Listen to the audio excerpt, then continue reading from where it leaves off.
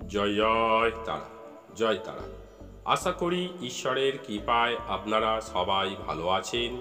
আজ আমরা জেনে নেব, আমরা আমাদের পিতৃদোষের কারণে কি কি ঘটতে পারে বা কি কি আমাদের জীবনে সমস্যা হতে পারে।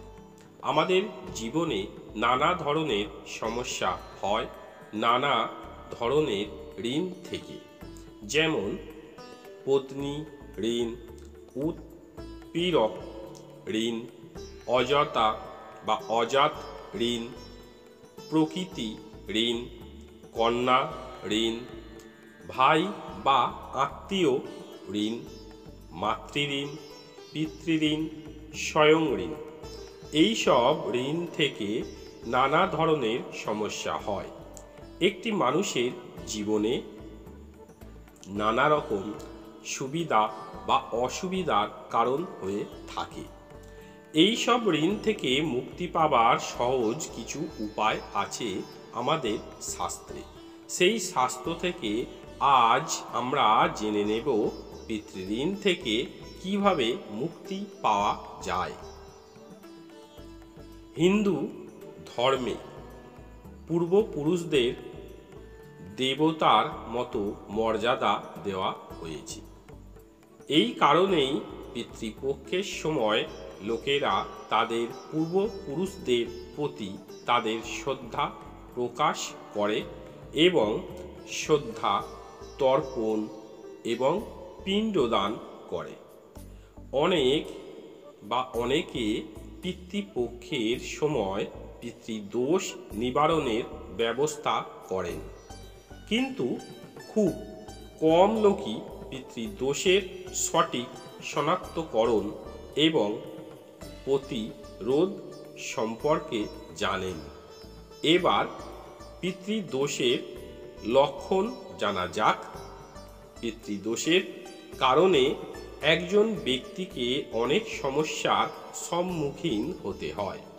প্রথমত, যাদের কুণ্ডলিতে পিতৃদোষ থাকে, তারা অনেক পরিশ্রমের পরেও সন্তান লাভের সুখ পান না বা তাদের সন্তান ভুল সঙ্গে পড়ে।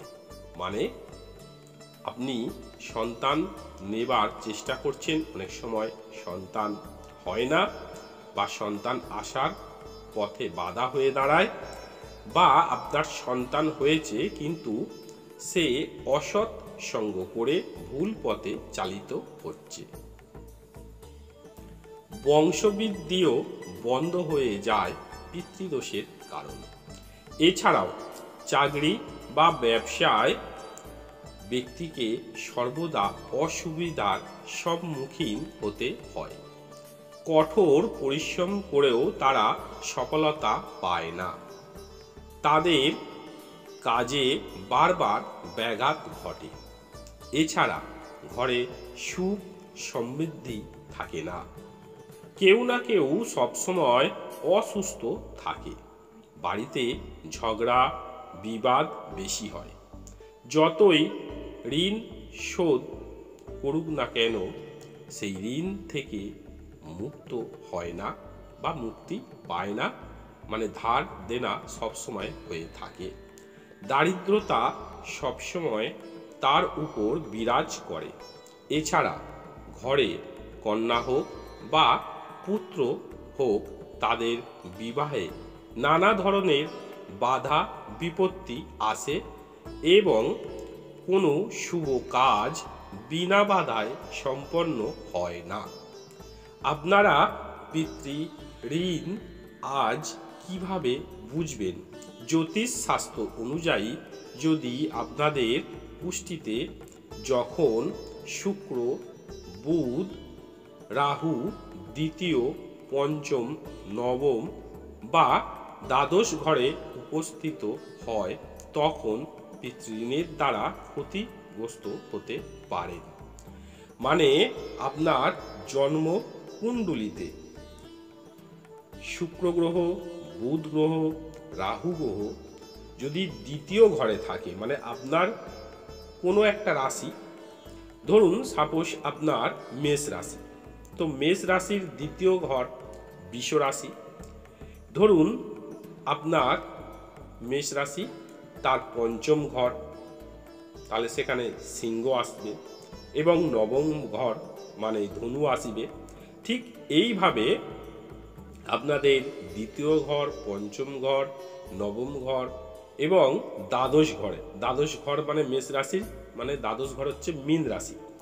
তো ওই সব ঘরে যদি রাহু, বুধ, শুক্র গ্রহ যদি থাকে জন্ম কুণ্ডলিতে, তাহলে জানবেন আপনাদের পিতৃ দোষ আছে।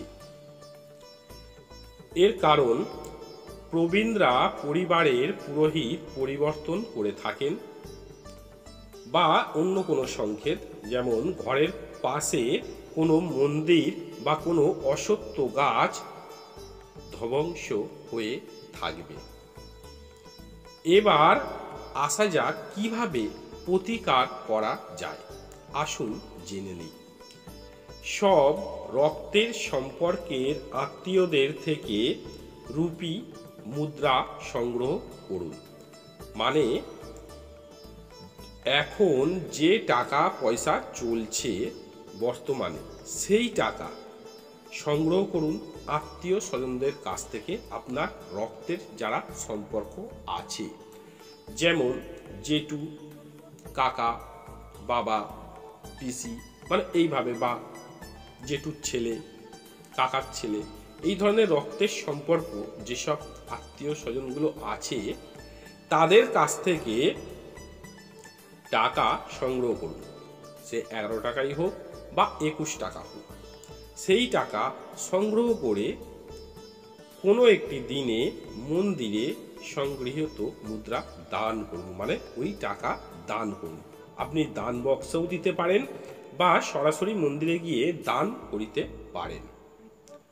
যদি আপনার বাড়িতে একটি অসত্য গাছ থাকে বা আছে, তো সেই গাছে জল দিন এবং সেই গাছটির প্রতিদিন সেবা করুন। এতে আপনার পুষ্টিতে থাকা পিতৃঋণ থেকে মুক্তি পাবেন এবার পিতৃ ঋণ থেকে মুক্তি পাবার একটি টোটকা জেনে নিন, বা অনেকগুলো টোটকা দেব। পিতৃপক্ষের সময় প্রতিদিন সন্ধ্যায় বাড়ির দক্ষিণ দিকে একটি তেলের প্রদীপ জ্বালান। এই তেলের প্রদীপ দিনের বেলাতেও জ্বালাতে পারেন। এতে পিতৃদোষ দূর হয়। এছাড়াও পিতৃদোষ দূর করতে এই কাজটি করুন। স্বাস্থ্য অনুযায়ী বাড়ির দক্ষিণ দেয়ালে আপনার পূর্বপুরুষদের একটি ছবি রাখুন এবং ছবির সামনে প্রদীপ, ধূপ জ্বালান। বিশেষ করে পিতৃপক্ষের সময় এটি করলে বিশেষ উপকার পাবেন।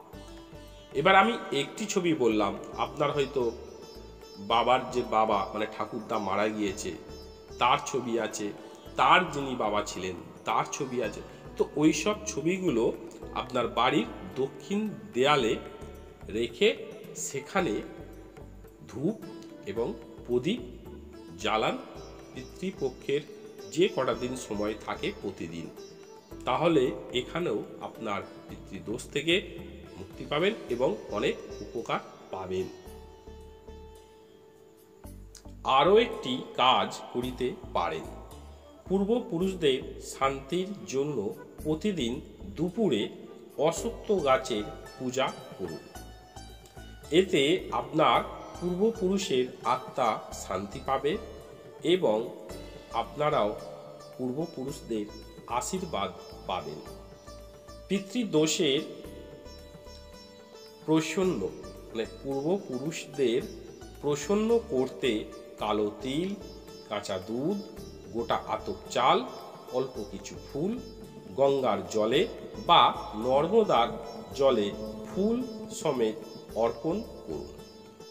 পিতৃদোষ থেকে পরিত্রাণ পেতে পিতৃপক্ষে এবং অমাবস্যায় পূর্বপুরুষদের অন্ন অর্পণ করুন এবং পিতৃস্তোত পাঠ করুন। অন্ন কীভাবে দান করিবেন? আপনারা খাবার তৈরি করুন পিতৃপুরুষদের উদ্দেশ্যে এবং নদীর জলে দিতে পারেন অথবা কাককে খাওয়াতে পারেন। আরেকটি কাজ করিতে পারেন, প্রতিদিন খাবার আগে মানে যখন আপনারা খাবেন, দুপুরে যখন খাবেন বা সকালে হয়তো অনেকে খান মানে খাবার সময় প্রতিটা খাবার প্রথমে একটু একটু করে, অল্প করে প্লেটে তুলে রাখুন। তারপরে খাবারটি খেয়ে নিন, হাত ধুয়ে। সেই খাবারটি কোনো কাকেদের উদ্দেশ্যে কোনো উঁচু জায়গায় রেখে দিন, যাতে কাকেরা খেতে পারে বা পাখিরাও খেতে পারে। আপনি রেখে দিন। এখানেও আপনার পিতৃদোষ অনেকটাই কমে যাবে বা মুক্তিও পেয়ে যেতে পারেন। এছাড়া পিতৃদোষ দূর করার জন্য এই কাজটি করুন। পিতৃপক্ষের সময় প্রতিদিন ভগবান শিবের পুজো করা উচিত বা একজন যোগ্য ব্রাহ্মণের দ্বারা অভিষেক করা উচিত। মানে আপনি প্রতিদিন পিতৃপক্ষের সময় শিবলিঙ্গে জল এবং কালো তিল শিবলিঙ্গে অর্পণ করুন, সঙ্গে কাঁচা দুধও দিতে পারেন। দিয়ে এইভাবে বা ব্রাহ্মণ দ্বারাও আপনি অভিষেক করাতে পারেন শিবের। পিতৃ দোষের অশুভ প্রভাব এড়াতে পঞ্চমুখী, সাতমুখী, আটমুখী ও বারোমুখী রুদ্রাক্ষ একসঙ্গে ধারণ করুন বা পড়ুন যদি এই সব রুদ্রাক্ষ না পাওয়া যায়, তবে আপনি নবগ্রহের রুদ্রাক্ষের মালা পরতে পারেন। বিভিন্ন দেখবেন বিজ্ঞাপন আসে তারা নবগ্রহের রুদ্রাক্ষ নির্মাণ করে এবং তার প্রাণ প্রতিষ্ঠা করে তারা বিক্রি করে বা আপনি সেখান থেকে কিনে নিয়ে বাড়িতে কোনো ব্রাহ্মণকে দিয়ে প্রাণ প্রতিষ্ঠা করিয়ে এবং সেই রুদ্রাক্ষ মন্ত্র দ্বারা মানে অভিষেক করিয়ে সেই রুদ্রাক্ষ মালা ধারণ করতে পারেন। এছাড়াও আপনি আরও একটি কাজ করিতে পারেন। প্রতিদিন কাকেদের খাবার খাওয়াতে পারেন। প্রতি অমাবস্যায় কালো রঙের কুকুরকে খাবার খাওয়াতে পারেন। যদি না কালো রঙের কুকুর পান, তাহলে যে কোনো রঙের কুকুরকে খাবার খাওয়াতে পারেন। তবে কালো রঙের কুকুরকে যদি অমাবস্যায় খাবার খাওয়াতে পারেন, খুবই উপকার পাবেন। এটা আপনাদের পিতৃ দোষ থাকুক বা না থাকুক, কালো রঙের কুকুরকে অমাবস্যায় খাবার খাওয়ালে খুবই উপকার হয়। স্বাস্থ্য অনুযায়ী। আপনাদের যদি কোনো কাজে লাগে বা আপনাদের কোনো উপকার হয়ে থাকে আমার এই ভিডিওটি, তো আমাকে কমেন্ট করে জানাবেন। যদি আপনাদের উপকার হয়, তাহলে আমি এই ধরনের নতুন নতুন ভিডিও নিয়ে আসিব।